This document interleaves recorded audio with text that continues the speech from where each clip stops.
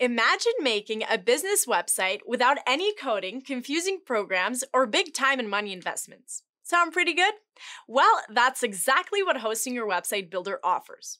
With its drag and drop editor and built in e commerce features, even a total beginner can have a website up and running in no time.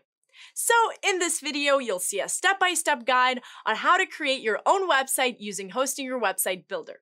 So, let's jump right into it. Alright, so first things first, you need to get a Hostinger website builder plan. It gives you all the tools and templates needed, plus hosting, which is basically like renting a space on a server to make your website accessible online. To get a plan, simply click the link in the description which will take you to this page, and scroll down to the available website builder plans. I'd really recommend going with a business plan because aside from other elements, it offers many AI tools for easier content creation and e-commerce features, which are perfect for business websites. Next, select the preferred plan duration. I'll choose the 4-year plan, which is the cheapest version in the long run and it includes a free domain name for one year. And in case you're wondering what a domain is, well, it's basically your website's unique name on the internet like website.com for example. Now, once you select the plan, sign in or log into your account and then fill in your information. You can also use our special code WB10 for a 10% discount. Just click here, insert the WB10 code, and click apply. Next, it's time to set up your website.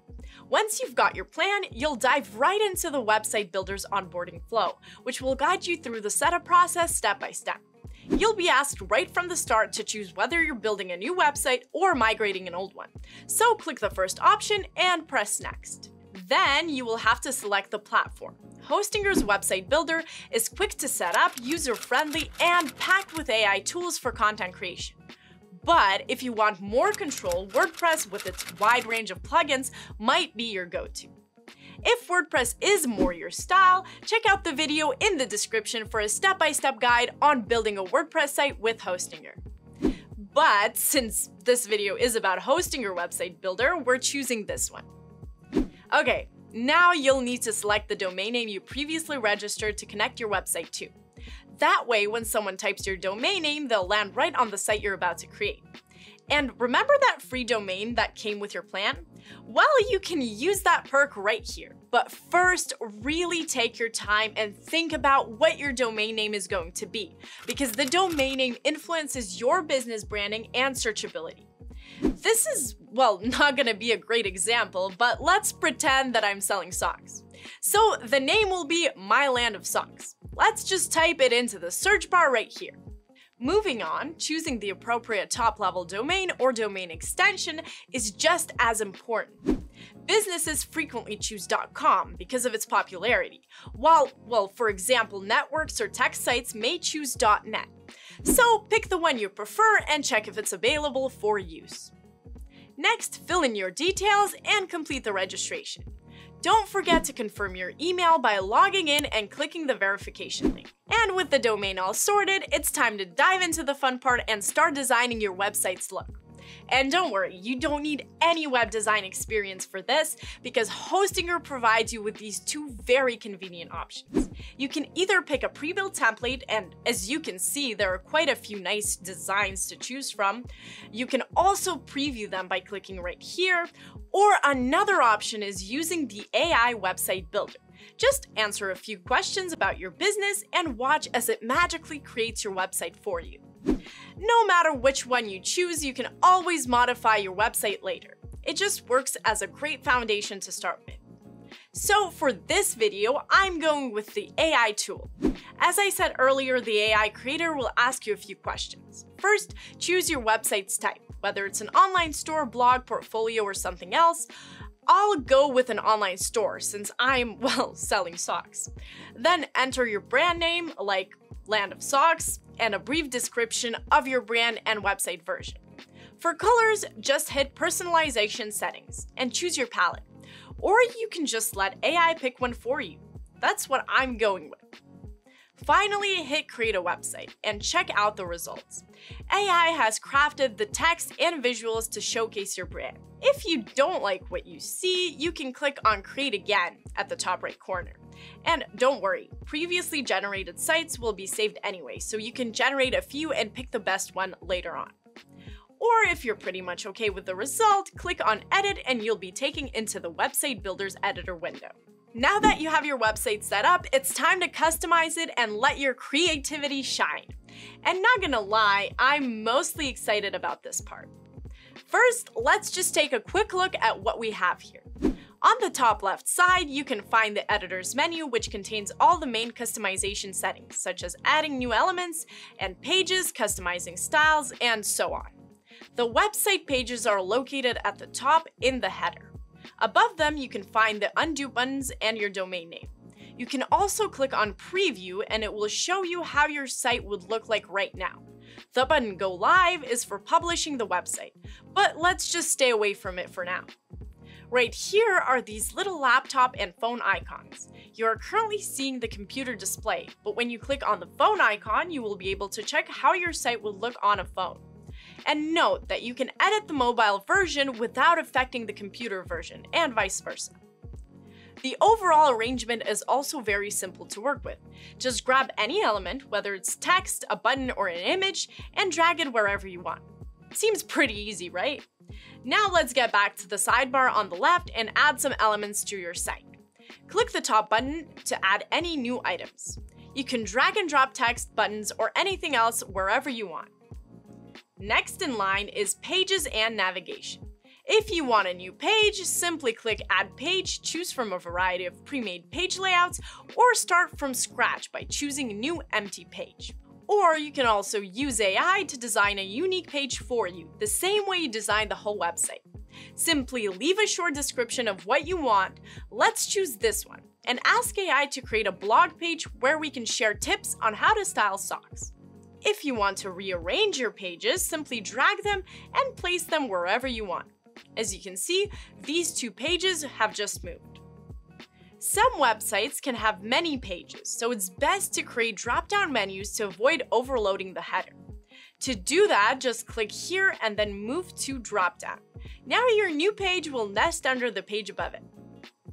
The next customization option we'll explore is for the website style. Pick your favorite colors, fonts, and button designs right here. You can even add some cool animations or keep it simple with none. The choice is all yours. You can also add separate changes manually by selecting any text, then clicking here on Edit Text and choosing the font size and layout. Let's put the website's name, Land of Socks here. Plus, you can click the eye icon to adjust visibility. If you don't want this text on the mobile version, just turn it off. Now the three dots here give you some other basic settings, like duplicating, deleting, or moving the text front or back. The same goes for any element. Let's say you don't like the image that is given here. You can click on Change Image and either upload your own files or choose from the free images provided. It's up to you. You can also click on Edit Image and manage the image's settings like overlay opacity and proportions. You can give it a different shape and so on. Another thing, when you move your mouse around, you can see that the page is divided into these little sections. So if you want, you can remove one and make it bigger or smaller just by expanding it like this. You can also add a new section by clicking Add Section here right in the middle. Once again, you can choose between a blank section, AI generated, or one from the pre-made templates. The website header can also be edited. To make changes, click on Edit Header right here. You'll be able to control the layout like making bigger spaces or changing the arrangement of the logo and page buttons. If you already have a logo, you can add it by clicking here and uploading it. You can also then change its width. If you scroll down, you'll see your website's footer section. It's similar to the header and will be visible on all your website pages. It usually contains contact information and your logo. If you don't want to have the footer on all your pages, you can press here on this eye icon and select to hide it from this page or any other page. And keep in mind that your website will automatically look a little bit different on mobile, but you can always edit it. It works the same way as the computer view. You can drag the items and change sizes, etc. Now, if you're creating your website to sell product and make money, just activate the e-commerce features. Let's say I want to start selling You've guessed it, socks on my online store. To set this up, head to the sidebar, choose online store, and hit add store. The website builder will automatically add a store page with a section for listing your products. To edit your store page, go back to the online store menu and click on manage store. This will take you to the store manager. Now you'll have to set up your store by providing the store's name and let it be Land of Socks. I really don't know how many times I've said socks in this video, but let's just keep rolling with it, okay? Okay, so once the name is provided, choose the country and currency that you want to sell your products in and hit continue. Once the onboarding process is complete, you'll enter the store management area. To finish setting it up, you can follow the store setup checklist. First on the list is AI product creation. And here are a couple of exciting AI tools you can do this with. One of them is the AI Product Information Generator. Instead of typing out a description, just simply upload a product photo, hit generate text, and let AI create a description for you. And it even translates the text based on your site's language. Now, how cool is that? Well, another cool feature is the AI-powered image background remover. Just upload your image and the AI will magically zap away the background. You can even choose a new background color if you want. Now how awesome is that? And if you want to learn even more cool things about setting up an online store, check out our video tutorial on how to make an e-commerce website with Hostinger Website Builder. The link is located right in the description. Now, I know that website building can be exciting, but also a bit time consuming. That's why I really recommend you try out some of the AI tools that the website builder offers for easier and faster content creation. For example, coming up with text for the website can sometimes be harder than it looks, especially if you're working solo and don't have a dedicated person for this. That's why there is an AI writer to make your life a lot easier. Just click on any text area you want to work on and select AI writer. Then add a short description of the content you want. For example, I want a catchy business description under the title saying that my business is passionate about socks and selling a wide variety of them. Then click create text and that's it. You can always ask AI to try again if needed, or keep the text and continue writing. The same goes for images. Click on the image you want to change and select Generate Image, or select it from the sidebar on the left by clicking on AI Tools. Once the window opens, just leave a description, for example, socks happily dancing together, and then click Create Images. This will generate several unique images in PNG format based on the description. Choose the one you like or try a different prompt. And by the way, all your AI generated images will be accessible in the media library. And speaking of images, your brand's logo is also key.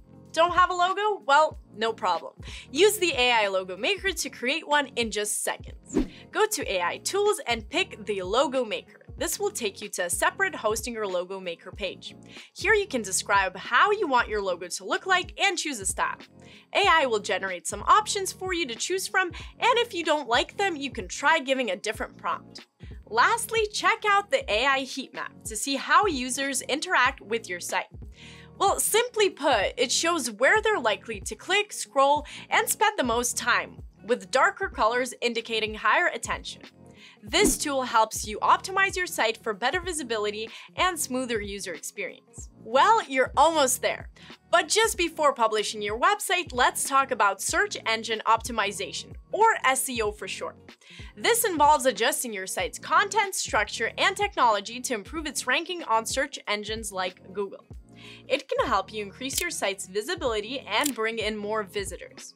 Using keywords in titles, descriptions, headers, and body content of your website is a fundamental component of SEO methods. These are the words or phrases that people use to find the products or services your website offers. You can use tools such as Google Keyword Planner or a keyword tool to find trending search terms associated with your industry. For example, terms like best bakery in San Francisco on a San Francisco bakery's website could help boost its online presence. Once you know what keywords are best for your website, you can use Hostinger Builder's SEO tools. Go to More Settings on the left and choose SEO Settings.